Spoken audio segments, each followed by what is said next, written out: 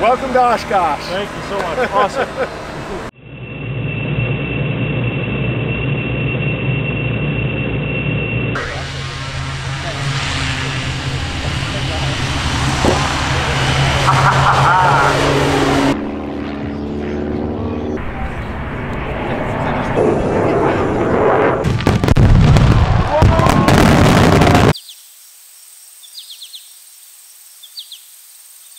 Oshkosh. I mean, if you're into aviation and you haven't been to Oshkosh, you got to go. I had a great time this year. Uh, lots of really neat stuff happened, but I just wanted to spend a quick second talking to you guys about the favorite thing that happened to me at Oshkosh. It's uh, as you guys know, it's it takes a lot of effort to make these videos. It takes a lot of money to buy all the camera gear, and um, sometimes I question why I'm really doing it. But at Oshkosh, it was just really, really neat to meet some of you and have a little chat with you. You know, I make these videos, you post them, and you know, you wake up the next morning and you go, "Oh, a thousand people watched my video. That's pretty neat." But it's really just a one zero zero zero on the screen, and it doesn't really mean a lot. But I, it was just really neat to sit down and talk to some of you and, and meet some of you and, and shake some hands, and it really kind of changed my perspective on why I make these videos and why I should keep making them. So anyway, that's enough of me rambling on. Um, we'll get back to the video, but really I just wanted to say thanks, and, and it was just really special for me to, to meet some of the people that like watching the videos I make. All right, back to the video.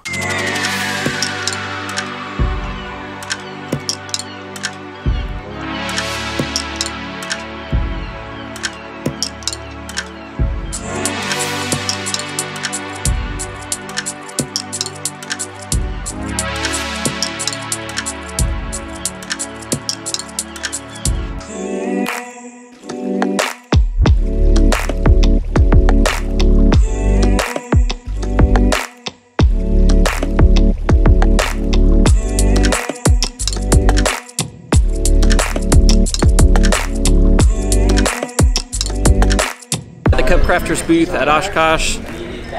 I'm jealous. Mike just traded a Wilga ride for a P51 ride.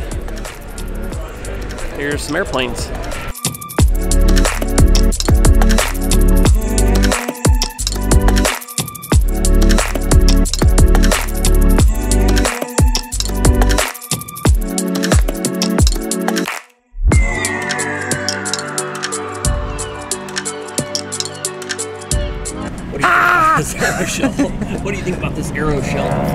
Performance, Craig? I think that they are doing very nice concentric circles. That's a big word for you, Greg. I just heard it from a 10 year old.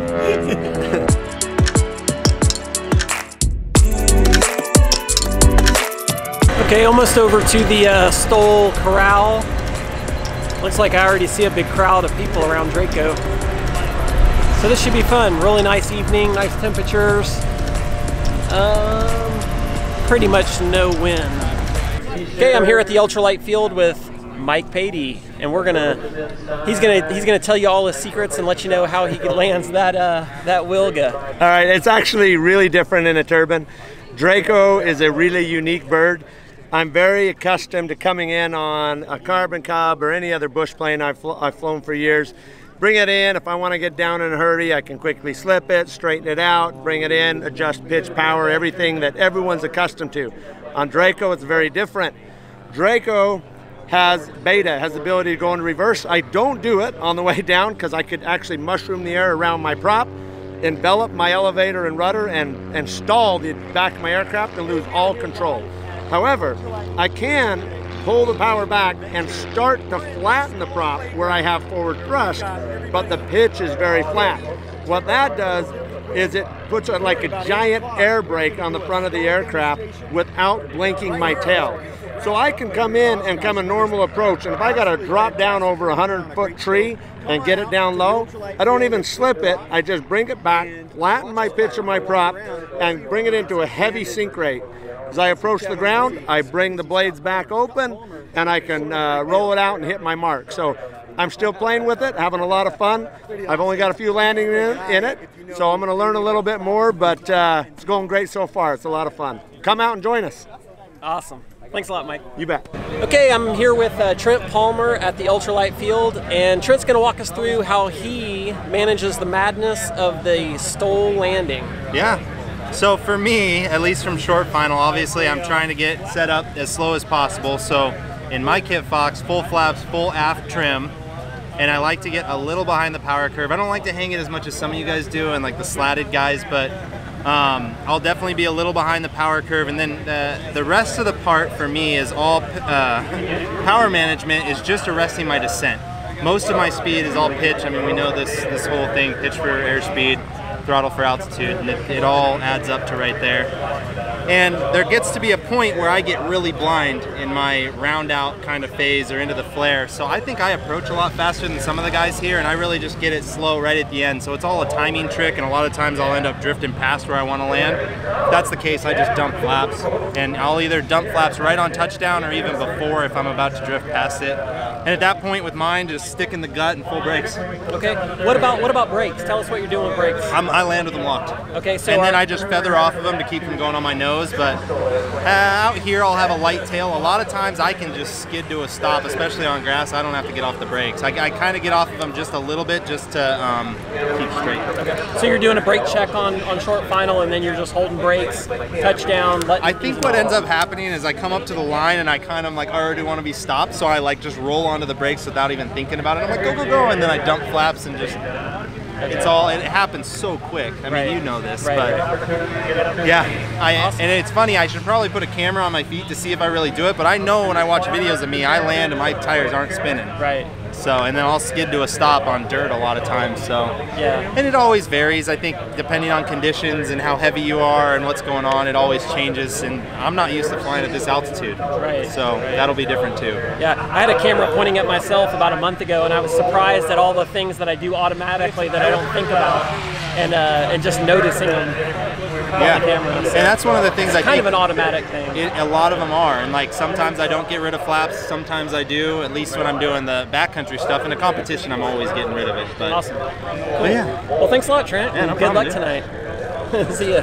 Okay, I'm here with Pop Story, and we're gonna figure out what his method is to get his uh, airplane stopped as short as possible for like a STOL or a competition landing. Let's hear Yeah. it. Give us all your secrets. Well, the secret is stop. You know, stop short. But uh, I guess what I do is I get out. Uh, if you got room, you know, if you got room, I try to get out and set up a nice little stabilized approach as slow as get it real slow, right on the edge of the stall and real slow and full flaps and everything down, hanging out, and uh, I bump up my brakes, make sure they're on good, and and uh, and hold them on, hold that pressure with them, and come down. Uh, right on the edge of a stall when I get to the line, right where I want to touch down.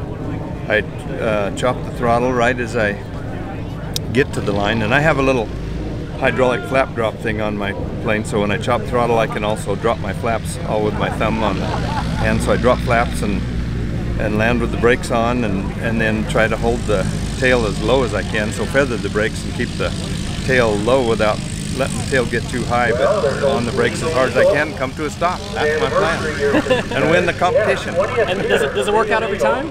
No, not every time. yeah, you know, I used to, uh, I used, before I put that little flap drop thing, about half the time I chop the throttle and forget to drop my flaps, you know, so this way it's right there in my hand. I almost can't do it, but I can't chop the throttle without dropping the flaps. Works All pretty good. Well, I would tell you good luck, but you're like me. We're just going to be uh, on the ground watching. Yeah, and we're watching. right? Yeah, we're just watching. We're wannabes today. All right. Well, thanks a lot, Pops. You bet.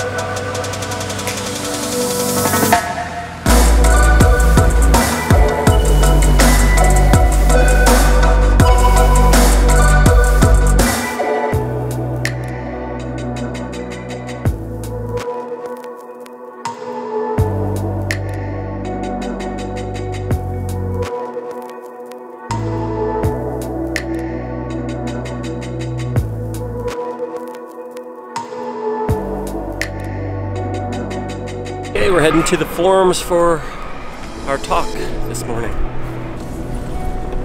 What up, folks? We're gonna go see Mark working hard selling tugs and try to hijack him so he can come to our talk.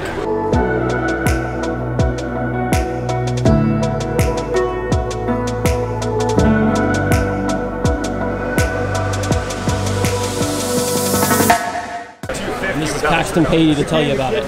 Yeah, so we're donating this tug to the EAA for the Young Eagles. So all of the proceeds that go for the person that buys the tug goes to EAA to help young people fly more. So yeah.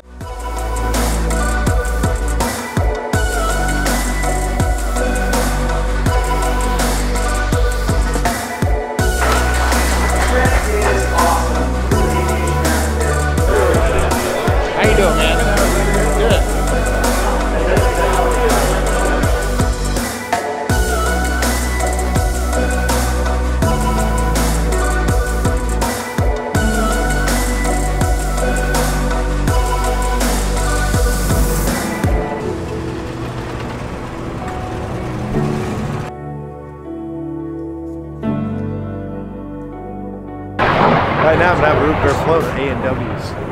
Kind of excited about it. Diet Pepsi.